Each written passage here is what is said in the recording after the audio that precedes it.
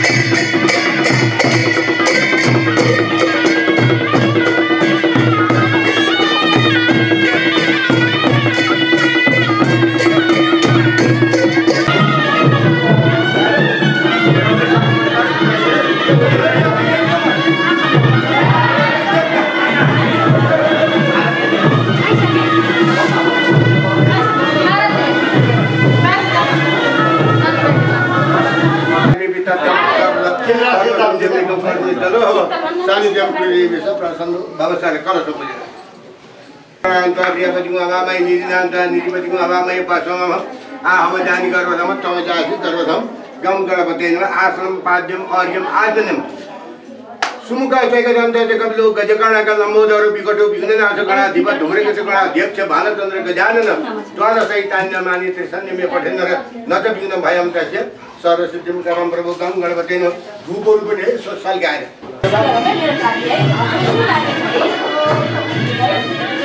खडक गरिए और दे धूप की तो यही है